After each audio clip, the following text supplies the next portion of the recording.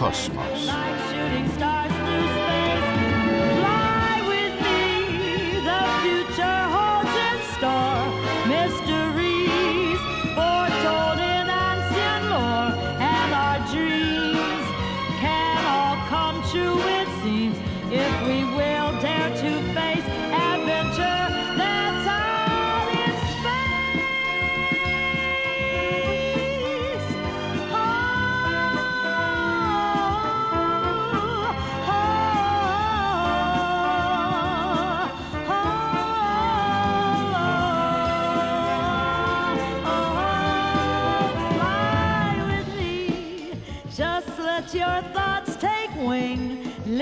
Liberty is such a wondrous thing. Leave behind this still sublunar race. Come see, come take your place.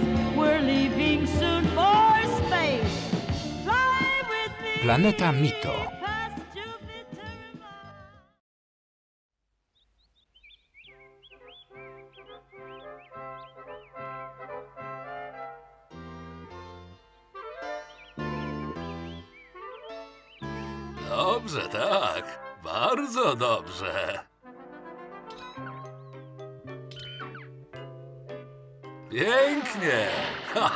Ha. Świetnie. Działa jak trzeba. Brawo! A to co to jest? Ojej, co się dzieje? O co chodzi? Co za okropny hałas?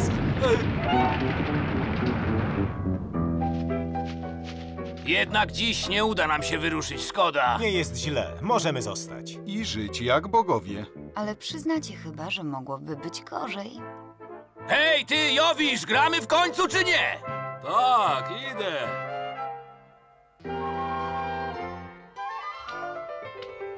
Mam już serdecznie dosyć tej planety, poważnie mówię. Hera nigdy nie jest zadowolona. No, idzie główny mechanik. Panie komandorze, musimy stawić czoło faktom. Olimp już nigdzie nie poleci, To akurat dla mnie żadna nowość. więc po co tak ciężko pracujemy? Bo to podnosi morale wśród ludzi, ale sprawa jest beznadziejna. Nie załamuj się, stary, w końcu nie jest tu tak najgorzej. A komputer? W jakim jest stanie? Na tyle dobrym, że może nam zapewnić rozrywkę. To idź sobie pograć wulkanie. Bo co robić? Może wreszcie zaprzestałbyś tych durnych gierek. O tym pogadamy później. Podoba ci się zabawa w Boga? Co ty mówisz, kobieto? Masz lepszy pomysł? To powiedz. Zawsze to samo, nigdy mnie nie słuchasz. Nie wytrzymam. Nie Rozumiem, że to koniec gry. Wobec tego wybiorę się na przejażdżkę do śmiertelników. Idziesz, Afro? Chętnie, Apollo. Polecę z tobą. Naprawdę mam już Przestań tego zrzędzić. dosyć.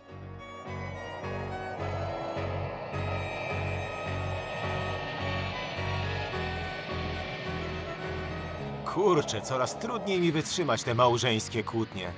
Tak, stali się nieznośni.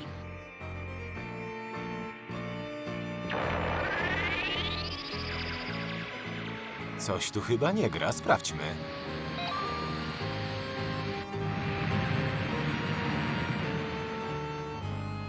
Jakieś kłopoty, sierżancie? Ciągle te same, kapitanie. Daliśmy ostrzeżenie dwójce ciekawskich młodych ludzi, którzy chcieli zobaczyć, co się tu dzieje. A ponieważ je zignorowali, otworzyliśmy ogień i już jest po nich. Rutynowe postępowanie. Nie można było tego uniknąć? Niby jak? Gdybyśmy wpuścili jednych, nazajutrz mielibyśmy prawdziwe tłumy. Niepowołanym osobom nie wolno przecież zbliżać się do Olimpu. No tak, racja. Chodźmy. Kapitanie, czy to prawda, że niedługo opuścimy to miejsce? Tak, sierżancie, już niedługo. Wiesz co? Wydaje mi się, że nasz kapitan mydli nam oczy. Też tak mi się wydaje. Jeden i dwa. Komandorze, wiadomość. Otrzymaliśmy wiadomość. Jakiś statek poprosił o zgodę na lądowanie. Nie możemy im odpowiedzieć. Człowieku, nadajnik zniszczony. Niech sobie lądują.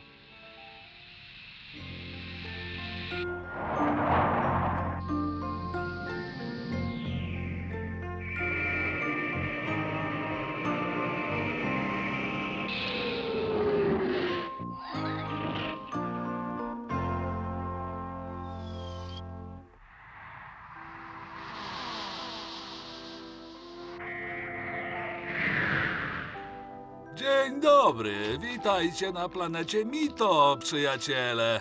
Zaraz, ale co oni tu robią? Niech się stąd zabierają, he? Chyba, że mają ochotę się bić. Wystarczy, Aresie, natychmiast się uspokój. Już tak dawno nie mieliśmy gości.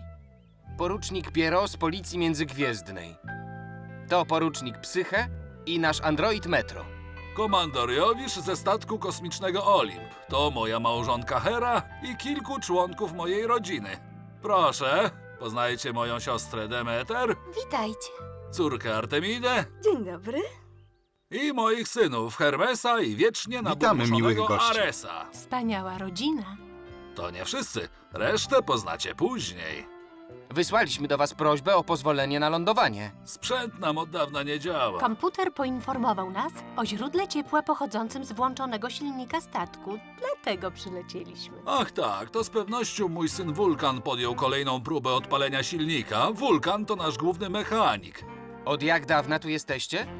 Długo, całe wieki. Nasz statek nie pomieści was wszystkich, ale możemy wysłać wiadomość, by ktoś przybył z pomocą lub wysłał wam inny statek. Wspaniały pomysł, poruczniku. Trzeba będzie koniecznie poddać tę propozycję pod głosowanie. Bo wiecie, niektórym z nas bardzo podoba się takie życie wśród śmiertelnych. Śmiertelny? Tak, my żyjemy raczej długo, oni nie. To małe, ale całkiem miłe, prymitywne istoty. Mieszkają w dolinach. I nie potrafią się bić. Ten mi kogoś przypomina. Ale kogo? Idźcie odpocząć, a potem zwiedzicie naszą planetę. Na pewno was zainteresuje.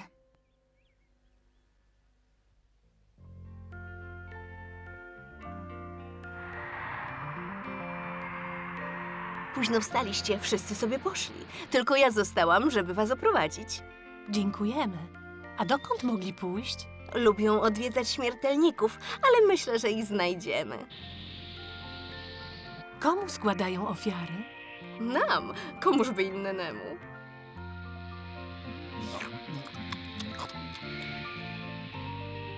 Czemu nie dacie im ognia? Moglibyście też nauczyć ich prząść. I Jowisz jest temu przeciwny, zwłaszcza jeśli chodzi o ogień. Pewnie ma ku temu powody.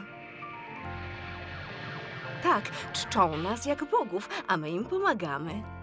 Macie teraz chwilę, żeby się rozejrzeć. Spotkamy się później.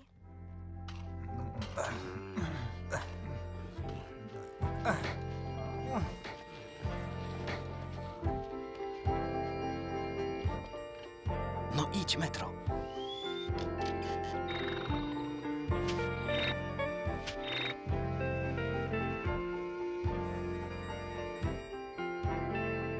Dobrze ci idzie. Do zobaczenia później.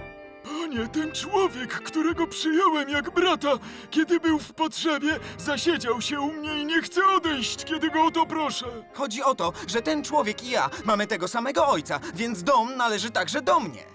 Oddasz mu połowę swojej ziemi uprawnej. Ależ panie, ja nie mogę. Tak, panie, będzie tak, jak sobie życzy. Panie, pomóż nam! Panie, ta bestia, ta straszna bestia wróciła! Ratunku! Schwytała mojego dziadka, zagraża naszym dzieciom! Litości, panie, zabijcie te bestie! Znowu to samo. Niech będzie. Chodźmy, wy też. Rozerwiecie się nieco.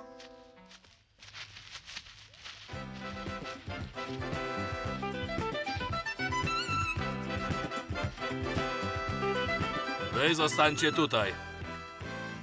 Powiedziałem przecież, że masz zostać.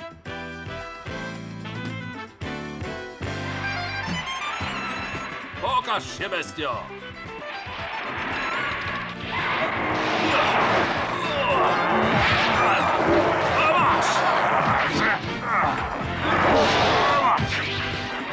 Zobacz!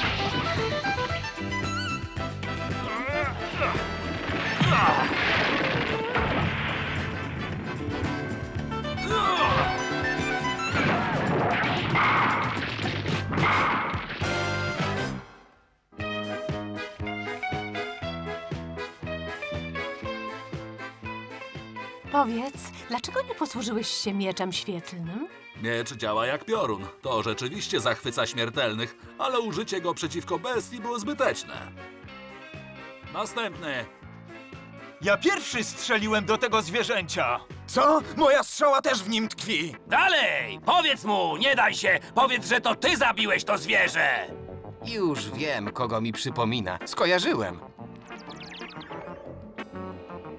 Znam go, to uczciwy człowiek. Nazywa się Pele. Stanę po jego stronie. Niech się podzielą. Nie ma dowodów na to, który z nich zabił zwierzę. To Ares ma rację. I ja tak myślę. Ja się nie zgadzam. Nie, ty tchórzu! Broń się! Bogowie ze sobą nie walczą. Spokojnie, bracia, uspokójcie się, proszę. Dlaczego nic nie robisz, żeby przerwać te kłótnie? Nie widzę w tym żadnego sensu. Przeznaczenie i tak musi się dopełnić. Przestańcie! A? Jak wam nie wstyd? Jesteście bogami, a dajecie zły przykład śmiertelnikom. Gdzie macie honor? Dość kłótni. Zwierzę należy do was wszystkich. Dziękuję, przyjaciele. Muszę ci powiedzieć coś ważnego. Wykazałeś się niezwykłą odwagą i uczciwością. Bogowie postanowili cię za to nagrodzić. Oto nagroda. Widzisz tę piękną brunetkę? To Tetyda.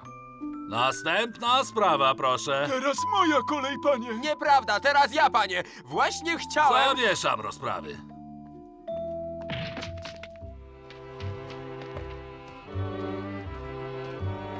Chodźcie ze mną, przyjaciele. Opowiem wam coś naprawdę ciekawego. Czy zauważyliście tamtą nadzwyczajnej urody kobietę, Tetydę? Jowisz się w niej zakochał, jak zresztą w wielu innych. Był to dla nas poważny kłopot, dlatego też uknuliśmy spisek, by Tetyda poślubiła śmiertelnika, niejakiego Pele. To ten młody myśliwy, który, jak przed chwilą widzieliście, bronił swojej zdobyczy. Patrzcie, jest. Lepiej, żeby nas nie zauważyła. Spójrzcie, nadchodzi Bele.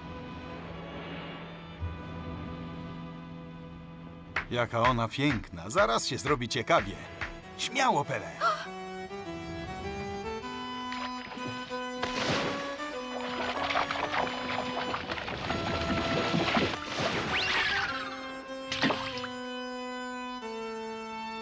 Widzieliście to? A, patrzcie teraz. To Posejdon. Też jest w niej zakochany.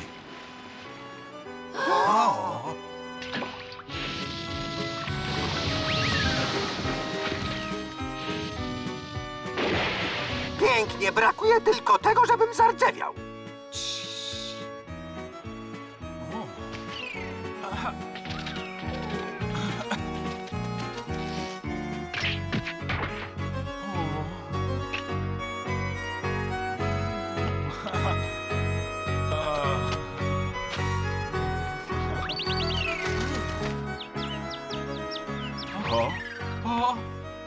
Żeby tylko jej nie wypuścił. Pele, nie pozwól jej uciec. Teraz ona musi wziąć sprawy w swoje ręce. Tetydo, Pele jest dzielny i tak mu na tobie zależy. Nie uważasz, że jednak jest ciebie godzien? Czy teraz zgadzasz się pojąć tego mężczyznę za męża?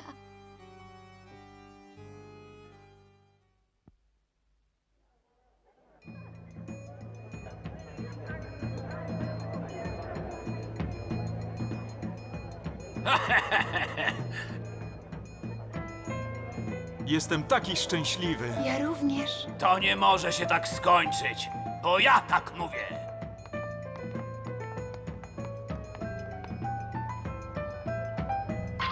Czy ja jestem tu do czegoś w ogóle potrzebny? Może mi to powiesz, kolego? Cierpliwości. My też niespecjalnie widzimy tu dla siebie rolę. Nie mam oprogramowania na takie sytuacje. Podobnie jak my. Ale to wszystko coś mi przypomina. Tobie też powiedz. To naprawdę bardzo dziwny dzień. Tak, i chyba na tym się nie skończy.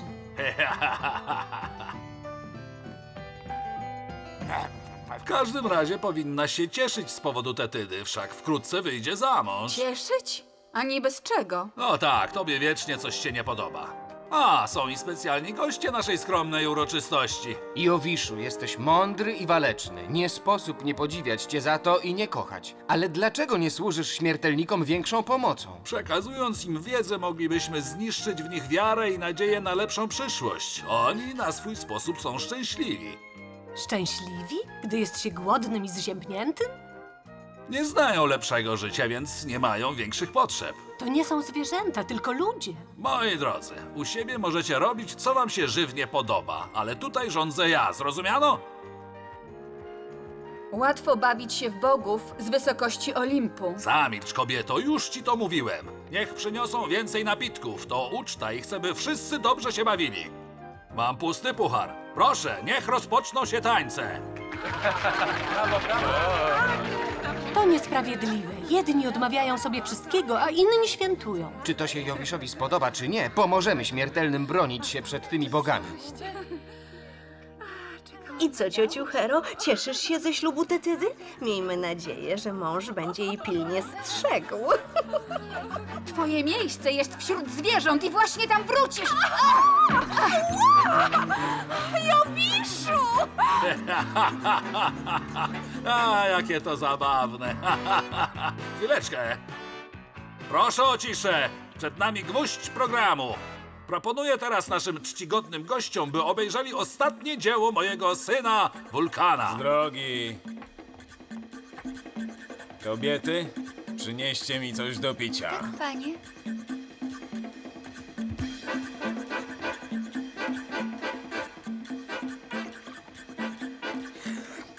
A teraz pokażcie naszym gościom prawdziwe oblicze. Jak każesz, panie.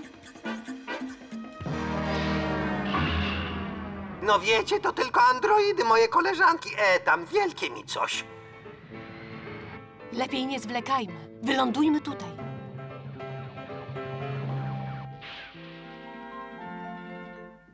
Chwileczkę. Czemu chcesz im oddać najlepsze mięso? Połowa dla ciebie, połowa dla nich. Niech wszyscy tak zrobią. Tak będzie sprawiedliwie. I proszę. Mamy tyle do zrobienia. Trzeba ich nauczyć lepiej żyć, odżywiać się, ubierać, urządzać domostwa. To nadal niestety nie tłumaczy tego, dlaczego tracę tu swój drogocenny czas. Drogi przyjacielu, cierpliwości. Nigdy nie wiadomo, co kryje się za najbliższym zakrętem. Witajcie, nieznajomi. Dokąd to się idzie? A teraz w dodatku gada do nas jakiś dziwny stwór. Idziemy do najbliższej wioski. Jeśli chcecie przejść dalej, musicie podać rozwiązanie pewnej zagadki. Ale uwaga, jeśli odpowiedź będzie nieprawidłowa, umrzecie! Nareszcie jakieś poważne zadanie. Nie wolno się śmiać! A teraz słuchajcie uważnie, co to za stworzenie ma najpierw cztery, później dwie, a w końcu trzy nogi. A poza tym dodam jeszcze, że im więcej nóg ma to stworzenie, tym mniej siły. To człowiek oczywiście banalny. Najpierw jest dzieckiem, więc raczkuje. Gdy jest dorosły, chodzi na dwóch nogach, a gdy się starzeje, podpiera się laską. Rozszyfrowaliście moją najtrudniejszą zagadkę! Milka, teraz ja ci dam zagadkę. E? A zatem słuchaj. Mm, już. Powiedz mi, jak brzmi prawo powszechnego ciążenia? Co? Prawo powszechnego ciążenia?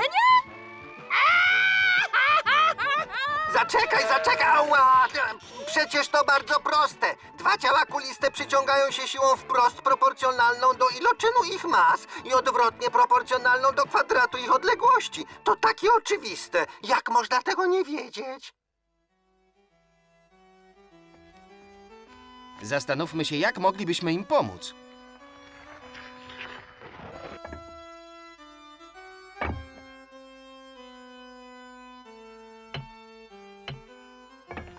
A teraz dachówki.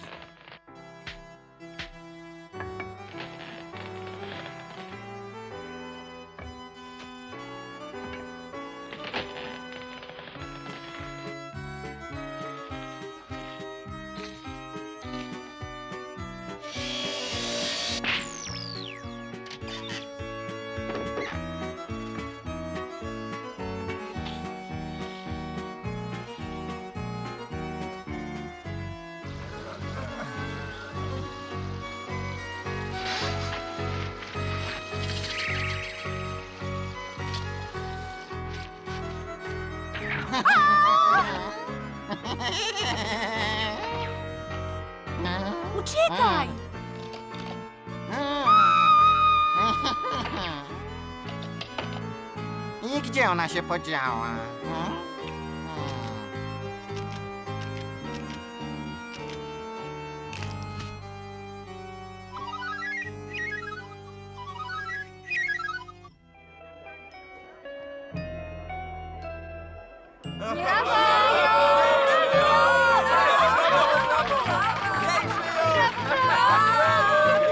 Wybrali już nawet imię dla swojego pierwszego syna, Achilles.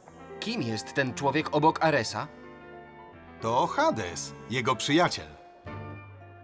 Ares to jego najlepszy dostawca. Uwaga! Wulkan pragnie wam teraz pokazać swoje najnowsze dzieło. To nasz najnowszy strażnik Talos. Proszę o brawa dla Wulkana.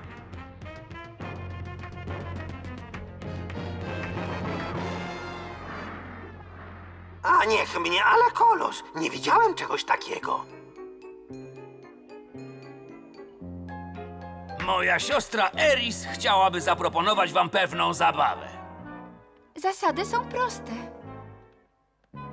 Nazywamy ją duchem niezgody.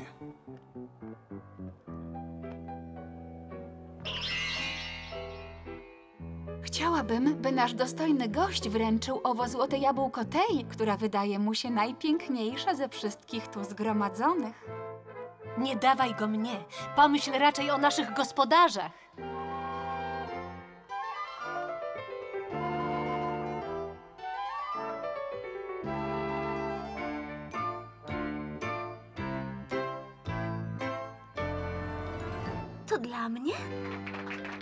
Wierz mi, że to jeszcze nie koniec tej zabawy.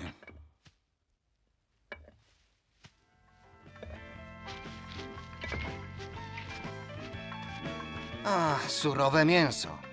Trudno, najwyżej jowisz się ze złości. Metro, czy mógłbyś mi podać zapaloną pochodnię?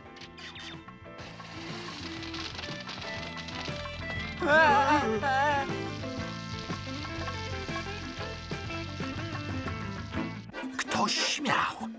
Kto ośmielił się przekazać ogień śmiertelnikom? Nie usłuchali mnie. Na Zeusa! Macie ich złapać! Natychmiast! Wulkanie! Chcę, żebyś coś dla mnie zrobił. Wykujesz prawdziwą piękność. Ma być piękniejsza niż wszystkie śmiertelniczki. Nazwiemy ją Pandora. Wyślemy ją do śmiertelników z puszką pełną nieszczęść. Ludzie nie mogą stać się równi nam. Damy im ogień, a oni będą chcieli zgarnąć wszystko. Nie ma mowy. To my tu rządzimy, rozumiesz? Do roboty!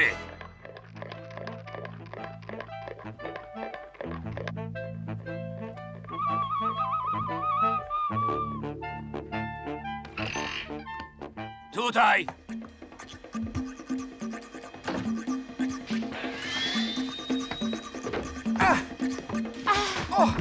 Dalej przeszukajcie dom!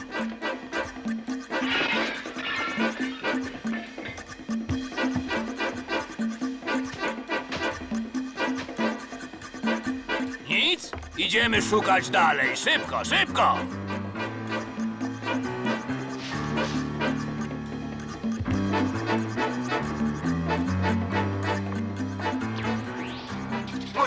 Najszybciej dostać się na statek.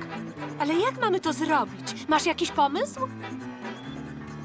Z pewnością jest pod obserwacją, ale musimy się do niego dostać. Spróbujemy.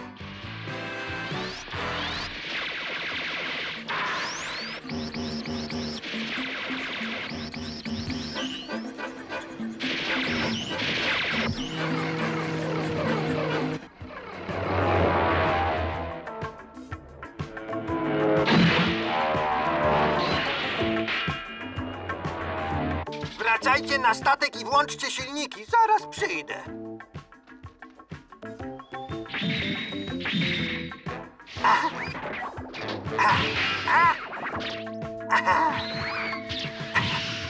I co, przemiły kolosie? Złap mnie. Bawimy się w kotka i myszkę?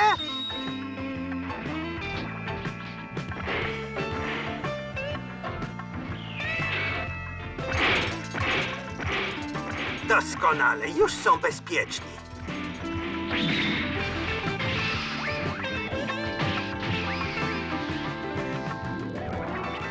Kici, kici, dobry talosik. Dość, już wystarczy, dość zabawy na dzisiaj. A masz, to na pamiątkę.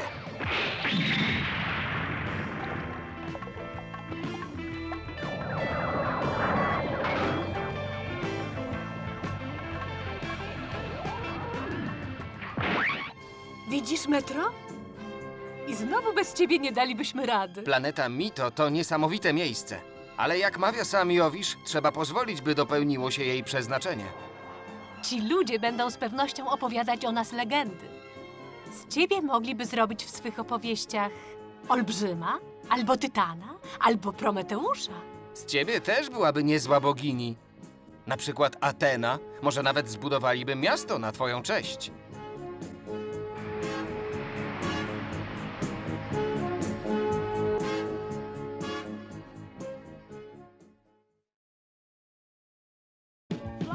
Wersja polska Masterfilm na zlecenie wydawcy Hipocampus. Reżyseria Dorota Kawęcka, dialogi Karolina Kowalska, dźwięki montaż Paweł Nowacki, kierownictwo produkcji Katarzyna Fijałkowska.